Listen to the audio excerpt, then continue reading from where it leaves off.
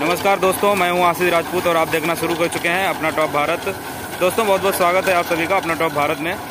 आज दोस्तों, हम मौजूद हैं इस समय आलू के खेत में, जिस प्रकार से आप लोग देख पा रहे होंगे, इस समय प्लांटर चल रहा है और ये जो आलू की फ़सल है, ये चिकसोना आलू है।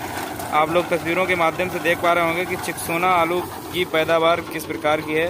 काफ़ी अच्छा आलू निकल रहा है, चिकसोना आलू की अगर हम बात करें तो क्षेत्र में इस समय जो भी आलू हैं, जितने भी पक्की फ़सल आलू की खुदाई है वो इस समय खुदाई बहुत ज़ोरों से चल रही है और सारा आलू कोल्ड स्टोर में जाता है। ये जितना भी आलू है, कोई भी यहाँ पे बहुत ही कम मात्रा में जो व्यापारी होते हैं, वो आलू लेते हैं। बाकी ज़्यादातर 90 परसेंट आलू इस समय कोल्ड स्टोर में ही जाता है दोस्तों।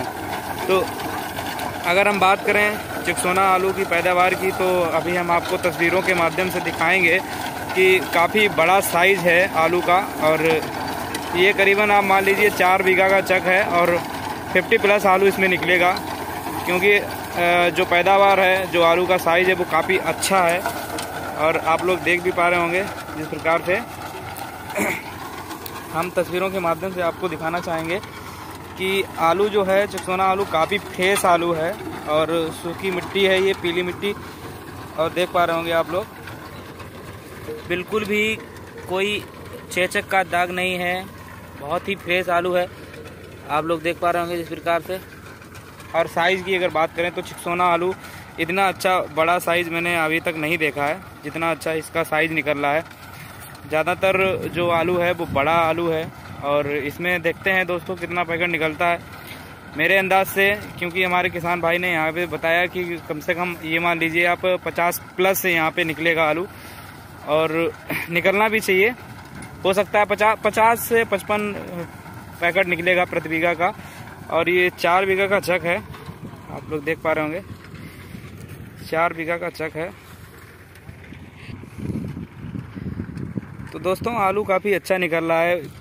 ठटिया क्षेत्र और कन्नौज क्षेत्र की अगर बात करें, और ज़्यादातर इस साइड में ये दीपावली के बाद का ये आलू है सारा। पक्की फ़सल ज़्यादातर ये बोया जाता है आलू। और आप लोग देख पा रहे होंगे, जिस प्रकार से काफ़ी अच्छा जो है आलू पैदावार है चिकसोना आलू की। और जब इसकी भराई होगी, दोस्तों, आप लोग कमेंट करके बताइएगा कि इसकी जो पैदावार है, वो भराई होने के बाद मैं आपको दिखा दूँगा विथ प्रूफ कि कितना पैकेट जो है निकल रहा है एक बीघा का। तो मेरे अंदाज से 50 से 55 निकलेगा। यही यही अनुमान करीबन किसान भाई ने भी बताया है, यही अंदाज़ा बताया कि 50 से 55 पैकेट तक निकलेगा, क्योंकि काफ़ी बड़ा बड़ा साइज़ है। देख पा रहे होंगे आप लोग। और लेबर जो है यहाँ पे काम करने लगी है। तो दोस्तों, कमेंट करके आप लोग ज़रूर बताइएगा हमें कि अब आपके साइड में किस प्रकार का जो है आलू निकल रहा है, कितना पैकेट प्रति बीघा निकल रहा है। चिकसोना और बात करें अगर लाल गुलाल आलू की और हाईलैंड आलू की तो ठटिया क्षेत्र में 50 से 55 60 बीघा प्रति इकट्ठा प्रति बीघा निकल रहा है। और इस क्षेत्र में जिस खेत में मौजूद है, इसमें आप लोग देख पा रहे हैं चिकसोना आलू है। तो चिकसोना आलू की जो है, बहुत ही कम मात्रा में ये ज़्यादातर खाने के लिए पाया जाता है दोस्तों। ये खाने के लिए किसान लोग बोते हैं। तो ज़ाहिर सी बात है, ये आलू जो है, कोल्ड स्टोर में जाएगा और काफ़ी अच्छा जो है, पैदावार है। आप लोग देख पा रहे होंगे। काफ़ी अच्छी पैदावार।